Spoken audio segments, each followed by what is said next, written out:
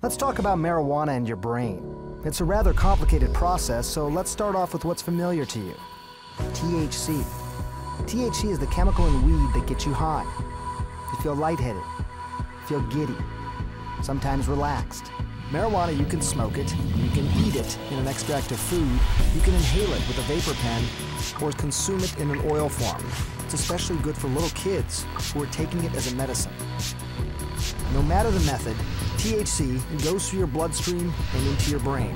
And there, the THC is going to latch onto these special receptors. When they are stimulated, you release dopamine. It sends signals to various nerve cells all around your body and makes the user feel high. Not all cannabis is going to get you stoned. That's because marijuana contains another chemical known as CBD.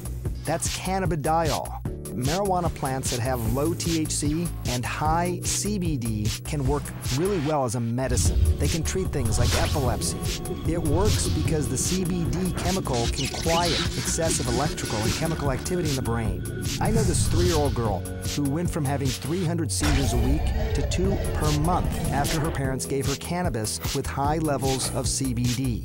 When it comes to marijuana, there's some 500 different chemical compounds. All these compounds work together. It's something known as the entourage effect. It's important because you can't just take a chemical out of marijuana and make a medicine. You need the whole plant, especially when it comes to using pot instead of pills.